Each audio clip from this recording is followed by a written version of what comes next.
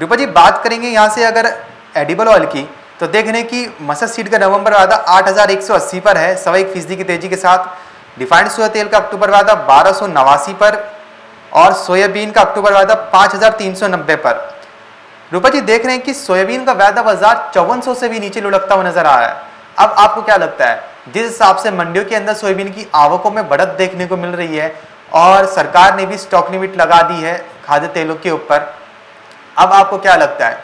आयात शुल्क में कमी करना स्टॉक लिमिट लगा देना और मंडियों में आवकें बढ़ जाना, इसकी वजह से सोयाबीन, क्या सोयाबीन का वायदा बाज़ार पाँच हज़ार तक भी लुढ़क सकता है?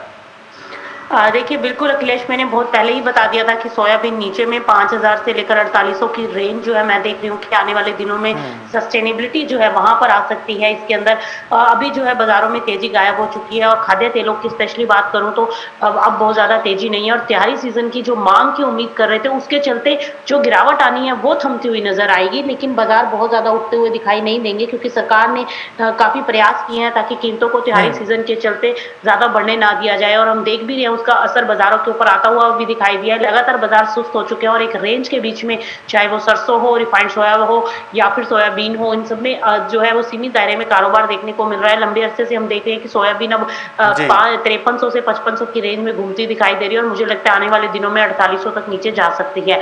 वहीं अगर मैं सरसों की बात करूँ तो सरसों थोड़ा बहुत तेज़ी में बयासी से तिरासी ऊपर लेवल जो है सस्टेन कर सकता है। वहीं नीचे की बात करूँ तो अठहत्तर तक मुझे लगता है कि सरसों आ सकती है।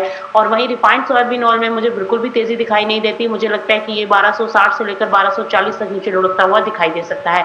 तो ओवरऑल एडिबल ऑयल पैक की अगर बात की जाए तो ट्रेंड नेगेटिव है। त्योहारी सीज़न के चलते सस्टेनेबिलिटी आ सकती है, गिरेगा नहीं मार्केट लेकिन तेज़ी भी नहीं है बहुत ज़्यादा। और जब फेस्टिवल सीज़न के खत्म होने के बाद मुझे लगता है कि एडिबल ऑयल पैक के अंदर गिरावट बढ़ सकती है और वो नीचे में जो है बाज़ार यहाँ से करंट लेवल से 400 से 500 पॉइंट लुढ़कते हुए दिखाई दे सकते जी। तो यानी कि रिफाइंड सोया तेल गिरता हुआ नज़र आ सकता है। सोयाबीन के भी अंदर वायदा बाज़ार की बात कर रहे हैं यहाँ पे सोयाबीन के। तो वायदा सोयाबीन बाज़ार में एक गिरावट देखने को मिल सकती है जी के अनुसार। सोयाबीन का वायदा बाज़ार नीचे में अड़तालीस तक लुढ़कता हुआ नज़र आ सकता है।